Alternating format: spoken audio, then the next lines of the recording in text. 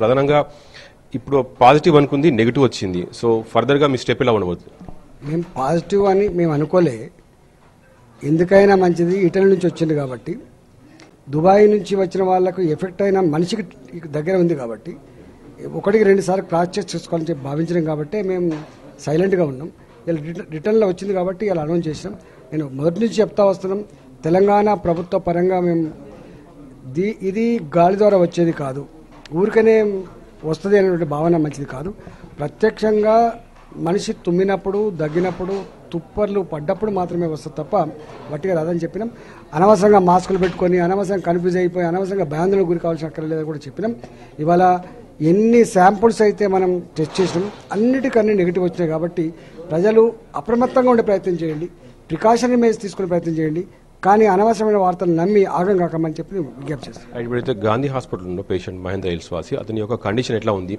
మీరు అన్నట్టుగా ఆ కుటుంబ సభ్యులకు ఎవరు కూడా రాలేదని చెప్తున్నారు. సో ఇంకా అక్కడ చాలా మంది భయా- భయాందోళనకు గురవుతున్నారు కదా సో వాళ్ళకి ఏం చెప్తారు? మహేంద్ర వీల్స్ వాసులకు అందరికీ నా విజ్ఞప్తి ఏంటంటే తన సొంత ఇండ్ల ఉన్న కొడుకు వచ్చింది. కానీ ఆ తల్లికి రాలే ఆ తండ్రికి రాలే కుటుంబ సభ్యులకు రాలేదు. కానీ చుట్టుపక్కల ఉన్న వాళ్ళకి ఎట్లా వస్తుందండి అయినా ప్రభుత్వం బాధ్యత కాబట్టి మీ యొక్క ఆందోళనతో మీ ఆందోళనని అర్థం చేసుకుంది కాబట్టి అక్కడ శానిటేషన్ ఇదంతా చేసి చేయించడం. ఇప్పటికైనా మీరు అర్థం చేసుకోండి. కుటుంబ సభ్యులకే రానప్పుడు పక్కింటి వాళ్ళకి ఎట్లొస్తుంది అటు పక్కింటి వాళ్ళకి ఎట్లొస్తుంది దయచేసి ఈ వందంతో నమ్మకండి అని చెప్పి మళ్ళీ విజ్ఞప్తి చేస్తున్నాం. మీరు హెల్త్ సూపర్వైజర్తో సమావేశమయ్యారు ప్రైవేట్ హాస్పిటల్ యజమానులతో సమావేశమయ్యారు. సో ప్రైవేట్ హాస్పిటల్లో మొత్తం కూడా ఈ కరోనా పేరుతోని వాళ్ళు డబ్బులు దండుకునే అవకాశం మనకు ఉన్నట్టు తెలుస్తుంది. అంటే గతంలో వాళ్ళు డెంగీ పేరుతో చాలా మంది జలగల డబ్బులు పీడించారు. సో దీన్ని కూడా బే చేసుకుని వాళ్ళు తీసుకునే అవకాశం ఉంది కదా? ఈ ఒక్కసారి మాత్రం ఏం చేసినాం? ప్రభుత్వమే ఎవరిని జైన్ చేసుకోవాలి ఎట్లా జైన్ చేసుకోవాలి ఎట్లా ట్రీట్మెంట్ ఇవ్వాలి ఏం ప్రోటోకాల్స్ పాటించాలి ఎంత ఛార్జ్ చేయాలి అవన్నిటి మీద నియంత్రణ పెట్టింది. ఎందుకంటే చాలామంది ఫారెన్ పోయి వచ్చే వాళ్ళు కొద్ది పెద్ద పెద్ద కుటుంబాలు కూడా ఉంటాయి. గవర్నమెంట్ హాస్పిటల్స్ అంటే ఇష్టం ఉండేటువంటి కుటుంబాలు కూడా ఉంటాయి కాబట్టి రెండవది ఇట్లాంటి పరిస్థితి వచ్చినప్పుడు ప్రైవేట్లో ఉండేటువంటి ఫెసిలిటీస్ కూడా వాడుకోవాలి కాబట్టి ఇవాళ మేము ఆదేశాలు ఇచ్చినాం. ఎక్కడ కూడా సొంతంగా బిల్లులు పే చేసే పరిస్థితి అంటే సొంతంగా బిల్లులు రేజ్ చేసే పరిస్థితి ఉండదు. ప్రభుత్వమే డిసైడ్ చేస్తే దాని ప్రకారం ట్రీట్మెంట్ అవుతుంది. నాకు తెలిసి తొంభై తొమ్మిది శాతం అక్కడ పడదు. ఒకవేళ అక్కర పడ్డా కూడా ప్రభుత్వం నియంత్రిస్తుంది. ఈ కమాండ్ కంట్రోల్ ఉంది. కమాండ్ కంట్రోల్ ఏ విధంగా వర్క్ చేస్తుంది? అసలు twenty four twenty four to seven అంటున్నారు కదా ఎట్లా ఉండబోతుంది. మీరు చూస్తూ ఉన్నారు గత నాలుగు రోజులుగా గత నాలుగు రోజులుగా మేము ఎట్లా పనిచేస్తున్నామో చూస్తూ ఉన్నాం. పొద్దున్న నుంచి మేము ఎట్లా పనిచేస్తామో చూస్తూ ఉన్నాం. హెల్త్ సూపర్వైజర్ మీటింగ్ పెట్టుకున్నాం. వాళ్ళకి ట్రైనింగ్ ఇచ్చి పంపించుకున్నాం. వాళ్ళకి ఎడ్యుకేట్ చేసి పంపించుకున్నాం. ప్రైవేట్ హాస్పిటల్ యజమాన్యాలతో మీటింగ్ పెట్టుకున్నాం పంపించినాం. ప్రైవేట్ కాలేజ్ యజమాన్యాలతో మీటింగ్ పెట్టుకున్నాం. ఇట్లా ప్రతి నిత్యం దీనికి సంబంధించిన ప్రిపేర్నెస్గా కొనసాగుతూ ఉంది.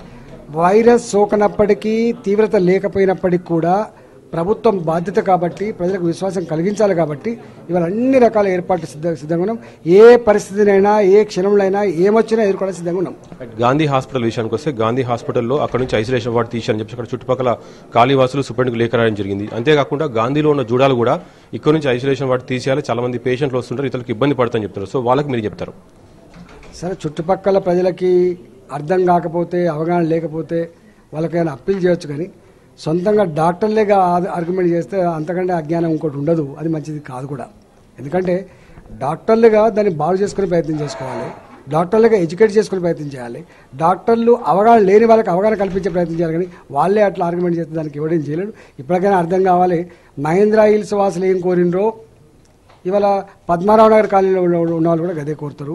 ఇలా గాంధీ చుట్టుపక్కల ఉన్న వాళ్ళు కూడా గదే కోరుతారు.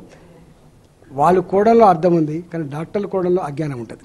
రైట్ ప్రజెంట్ ప్రస్తుతం అయితే మొత్తం మాస్కుల కొరత ఏర్పడింది శానిటైజర్ కొరత ఏర్పడింది. మీరు చెప్తున్నారు మాస్కులు అవసరం లేకుండా రుమాలు పెట్టుకోవాలి సో కొంగు పెట్టుకోవాలి మీరు అంటున్నారు. సో మీరు ఇంత చెప్పినా కూడా జనాలు మాత్రం చాలా మెడికల్ షాప్లో చుట్టూ తిరుగుతున్నారు. దీన్ని వాళ్ళు క్యాష్ చేసుకుంటున్నారు. సో ఏమైనా ఫర్దర్గా రైట్స్ ఏమైనా ఉంటాయా మెడికల్ షాప్ల పైన?